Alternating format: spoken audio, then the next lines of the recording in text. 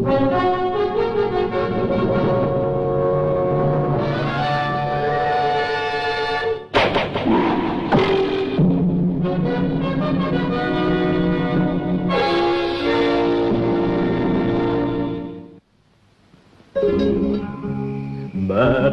in a village, an outlaw is the one accused. Robin sees that right and true shall triumph unabused.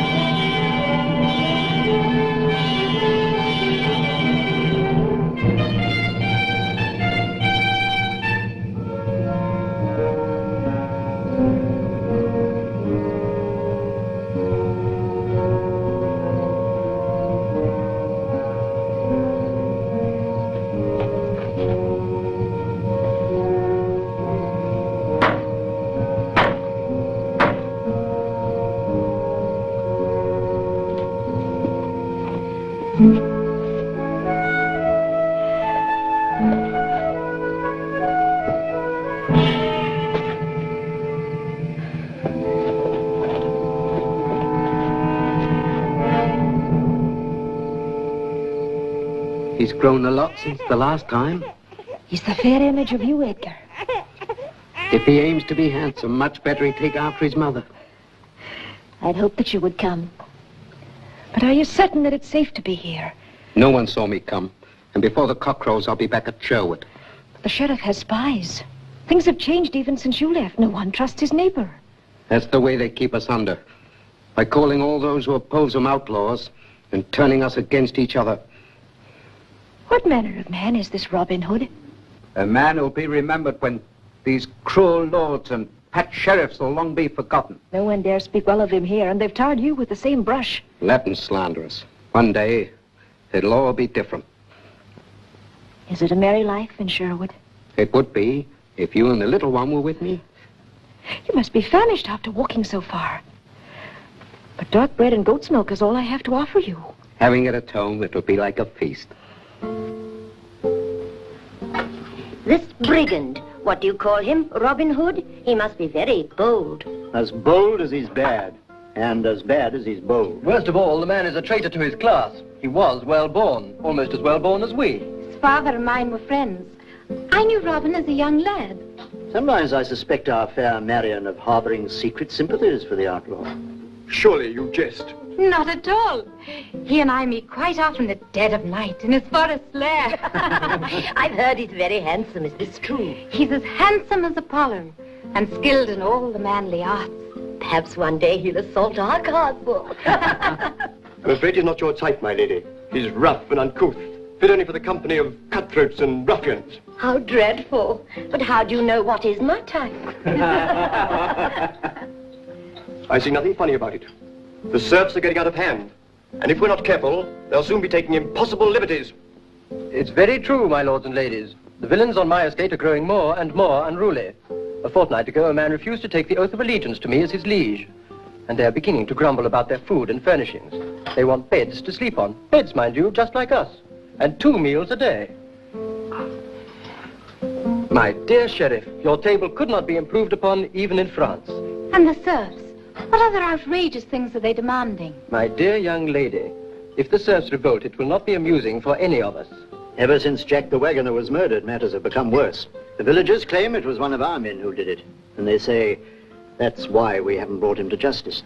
Naturally, that couldn't be true. Naturally. It's those outlaws who've stirred things up. The peasants are beginning to regard them as heroes. A man to see you, my lord. Tell him to wait. But he says he brings very important news, my lord. Huh? No. Well, The duties of office. My humble apologies. My lord. Well, Humphrey, what is so important that you intrude upon my dinner? Uh, your pardon, my lord, but there is an outlaw in our village. What? Uh, an outlaw, my lord, a man called Edgar, a, a neighbour of ours. I saw him enter his house. How long ago? No, no, not half an hour ago, my lord. I, I ran up here as soon as I saw him. Tell my lieutenant to come here at once. Yes, my lord. Humphrey, how would you like to earn a little extra? Hmm? Oh, I'm most generous of your lordship. Most generous. Would you mind standing still for a moment? Now listen carefully. Yes, my lord. Jack the Wagoner was murdered in your village. So far, no one knows who did it. Might it not have been this outlaw? And if so, why shouldn't the villagers deal with him themselves? Under your direction, of course. If he could be found guilty, it would save a lot of tongues wagging, your lordship. Exactly. Now, go back to your village. I believe you are an excellent horsewoman, my dear Marion. I have brought in some fine Arabian stock, but I perceive the sheriff interests you more than my poor conversation. I'm sorry. You were saying you had some Arabian horses. And it would give me great pleasure to show them to you, or perhaps to take you riding. You're very kind. My friends, a piece of great good fortune has just fallen into our laps. One of the outlaws is now in Middlebury. And your men are arresting him? Better than that, my dear Count. I have suggested that the villagers should charge him with the murder of Jack the Wagoner. In that way, we can wash our hands of him, and the outlaws will be discredited. A brilliant notion, my lord. My compliments, Sheriff. But how do you know they can prove him guilty? My dear Marion, it will be for him to prove that he is innocent.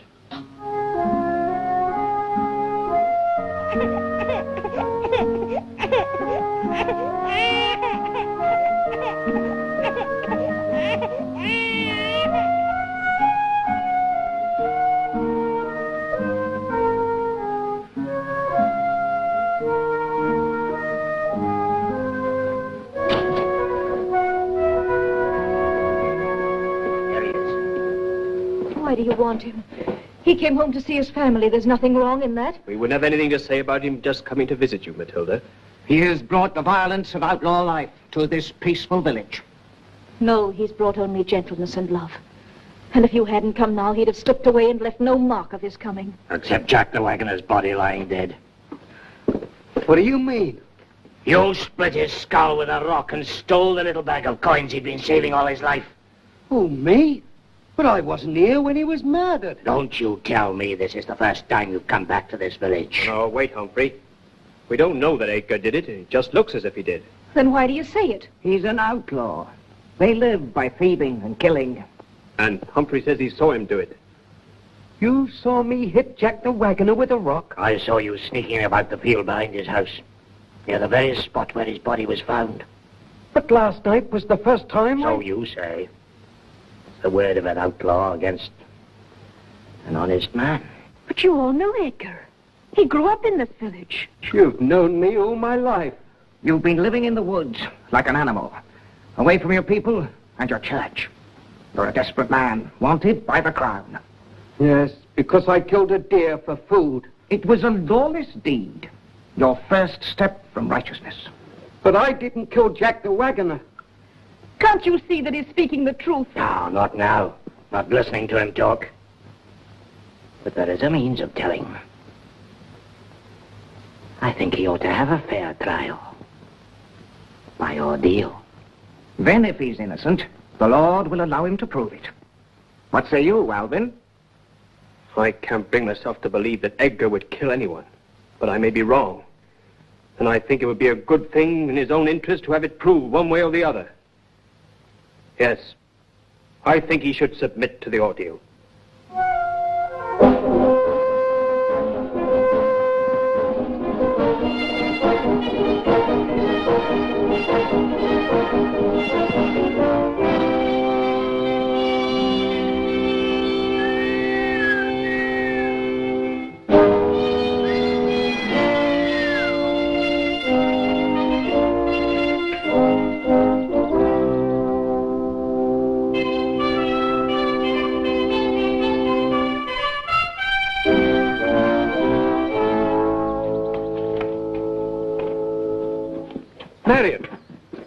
What brings you here? Bad news, Robin. One of your men has been taken in Middlebury Village. What? But last evening we were all here in camp. Then he must have slipped out during the night. It's Edgar, Robin. That's his village, and he's not here. Edgar? Yes, he was restless to see his family. I feared this might happen. Well, we'll have to get him out of it. Little John.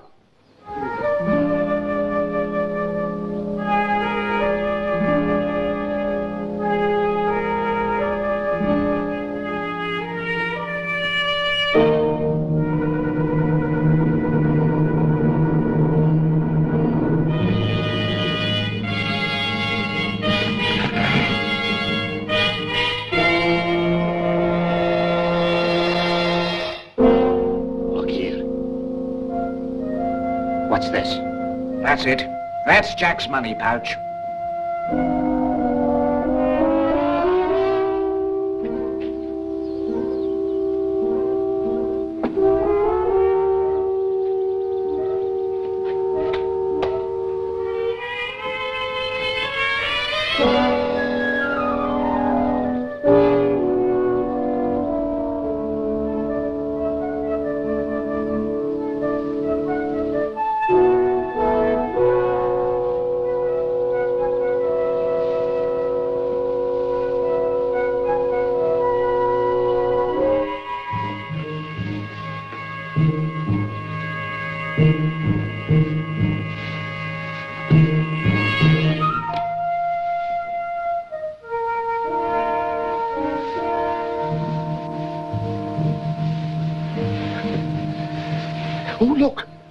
Something out of doors. Perhaps we'll be in time for a feast of some sort. We need to know is if it's safe. No bailiffs, foresters, or sheriff's men about. It looks all right from here. I wonder what's in that pot. Some tender fowls, plump mutton, a rich beef stew. Can you stop thinking of your stomach for just a moment? We're here to rescue Edgar.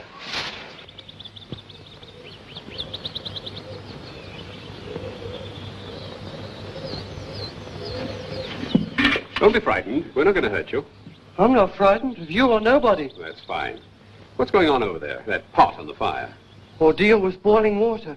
Jack the wagoner was murdered, and we think we know who done it.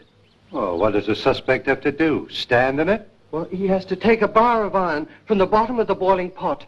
And if his hand doesn't blister, well, we know he's innocent. Savage superstition. Where I come from, he has to pluck the bar from off burning coals. Far more civilized. What makes people think this man is guilty? Well, Humphrey saw him near Jack's house, and he's an outlaw. Surely that's a proof of his innocence. Yes, since when did outlaws harm poor villagers? You seem to know a lot about them. Who are you? They call me Robin Hood. Hey, come back here. Let him go. He's harmless. Well, now they've been warned, we'll have a pretty fight in our hands. We wouldn't have passed unrecognized for long. Listen, there isn't going to be any fight. We must come as peaceful visitors. Aren't we going to help Edgar escape? Certainly not. It'll be like a confession of guilt. He'd never be able to visit his family again. Give me your weapons. Why, what are you going to do? I'm going to establish Edgar's innocence, not only for his sake, but for ours. We can't have the men of Sherwood branded as murderers. The friar's right, Little John.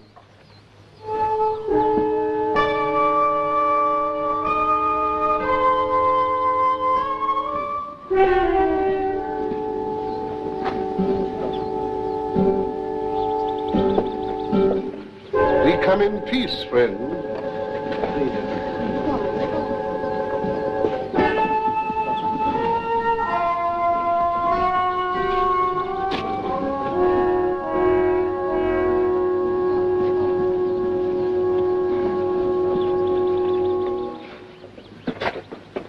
You know who I am. You are one of my men there. And we don't want any more. There are many villages in this shire where we're welcome. They haven't had one of your outlaws steal in at night and murder a householder. No, they haven't. I'm glad you admit that. In fact, you've never heard of any man of mine harming poor people, have you? I have. There he is. Why are you so certain that Edgar is guilty? He's an outlaw. There was no trouble here before he came. No trouble. Well, this is a fortunate village indeed. I thought all England had troubles under Norman rule. There's no need to be in such a hurry, friend. The men of Sherwood are guarding the road to Nottingham. I'm sure you wouldn't want us to discuss such important matters without you. We're here only to see that Edgar receives fair treatment. And that means without the aid of his lordship, the sheriff. Your man will get a fair trial. Then you won't object if we stay and watch. I've no objection. And I'd also like to have a look around. You won't have much time. The fire's getting hot. And I'm sure I can count on you to keep it burning well.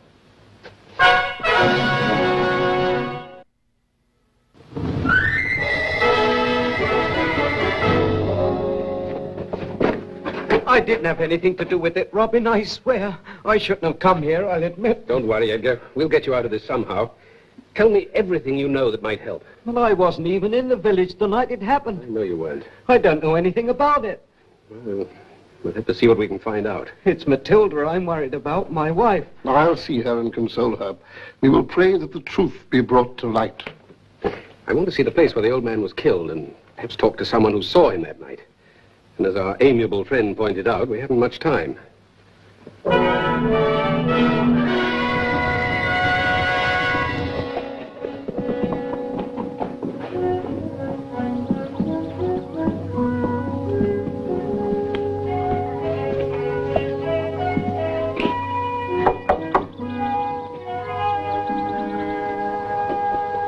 Helen, this is a friend of Edgar's, Robin Hood.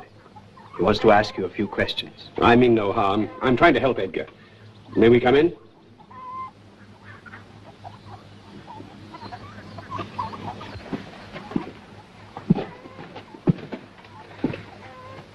Edgar is a neighbor of yours, Helen, so you must have known him for a long time.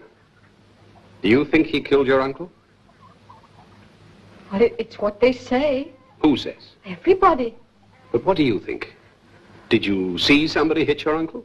No, no, I was gone. But you found him after he'd been killed. Tell him, Helen. Where did you find him? Over there.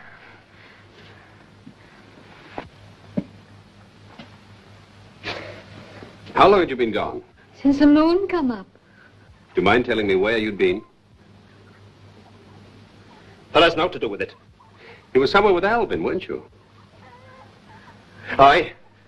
We were together, the maid and I, Where were you? in the meadow back of where Ned the miller lives. Her uncle wouldn't let anyone see her. Any man, I mean. So we had to meet at night. And you wanted to marry her? Aye. And Jack the Wagoner wouldn't let you. He had a bag of gold he'd been saving all his life. He thought anyone who came to see Ellen was after his bag of gold. After the killing, was the bag of gold gone? Aye, it was. How did you know? Why, Helen told me. I want Helen to answer this. When did you know the gold was missing? You're trying to make it seem like I did it. At least you had a good reason, which is more than poor Edgar did. Edgar had an outlaw's reason. Robbery. We don't rob the poor or kill for gold. Helen, you know more than you're telling me, don't you? I... Remember, an innocent man's life is at stake. The poor dead man's savings. The gold he was murdered for. Here in Edgar's house. How can you still say he's innocent? Because I know Edgar. He couldn't do such a thing. You don't believe them, Father? No, I don't, Matilda. And what about this? Jack Wagoner's name stitched on the pouch. Where did you find it? Over there. Under a loose stone in the hearth. Is that true, Friar? They'd searched the house before I arrived. None of us knows how it got there. As if there's any doubt. Which of you found it? I did. You've been a very busy man, Humphrey. Why, that I have. And to good purpose. We found a murderer and his loot. In the wrong order, it seems to me. First of all, you accuse a man, and then later you discover the evidence. I don't have to answer any of your questions. I'm not on trial, Edgar is. I'm not so certain. How did you know to look for the pouch under the loose stone? Well, we looked for it other places, but that's where we found it. Come, Wilfred. This trial's been delayed long enough. If this is Jack the Wagoner's gold, it belongs to his niece, not you. How do we know she'll get it? On my word as an outlaw.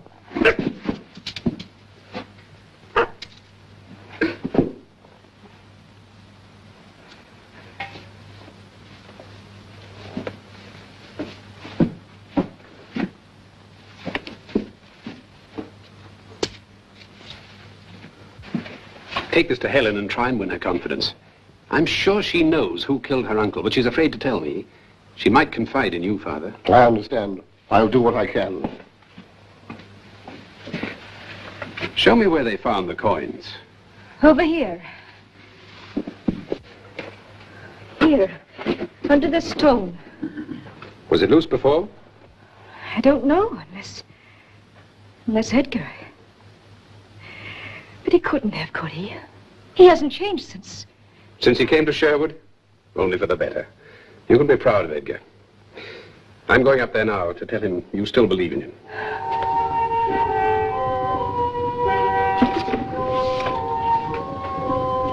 Now we can see whether he's telling the truth. Edgar, put your hand in there and take out the bar.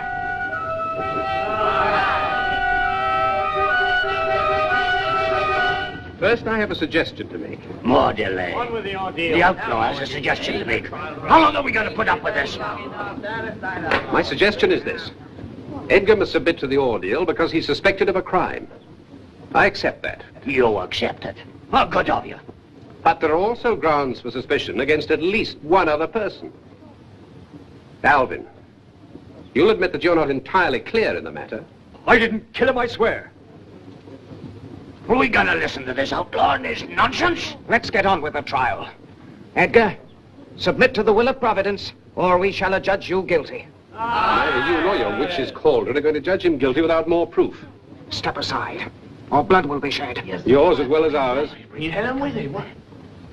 No blood need be shed. We know the guilty man. Helen, tell these people what you told me. He did it. When I came back the night it happened from being with Alvin, I saw him attack my uncle. He lies! The priest put her up to this. Why didn't you tell us this before, Helen? Well, Humphrey said he was a friend of the sheriff's, and if I told anyone what I'd seen, he'd see that I was branded as a witch and burned at the stake. Oh, my God! devil! And you let us put the blame on Edgar just because he was an outlaw. That was the sheriff's idea. He wanted to make the men of this village lose faith in the men of Sherwood Forest. Shall we give the sheriff our answer?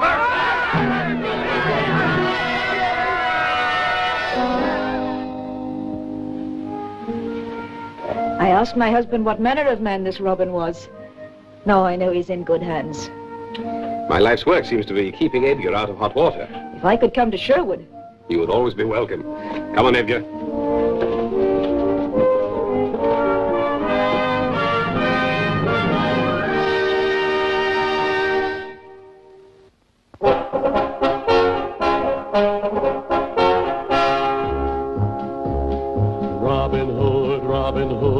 Riding through the glen. Robin Hood, Robin Hood, with his band of men. Feared by the bad, loved by the good. Robin Hood, Robin Hood, Robin Hood. Greatest archers to a tavern on the green. They vowed to help the people of the king. They handled all the trouble on the English country scene and still found plenty of time to sing. Robin Hood, Robin Hood, riding through the glen. Robin Hood, Robin Hood, with his band of men.